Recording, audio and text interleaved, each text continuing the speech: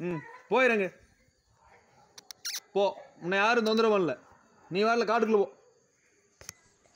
கோவை துடியலூர் அருகே உள்ள கதிர்நாயக்கன் பாளையத்தைச் சேர்ந்தவர் கனகராஜ் எலக்ட்ரீஷியன் தெருவிலிருந்து அவரது வீட்டை நோக்கி கண்ணாடி விரியன் பாம்பு ஒன்று வந்தது.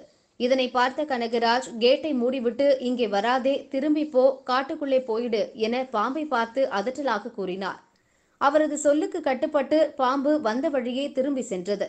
தகவல் அறிந்து வந்த வனத்துறையினர் பாம்பை பிடித்து காட்டுக்குள் கொண்டு போய்விட்டனர். ம் போயிடுங்க போ உன்னை யாரும் தொந்தரவு பண்ணல. நீ வரல காட்டுக்குள்ள போ. போய்க்கோ. போ. போ. போ.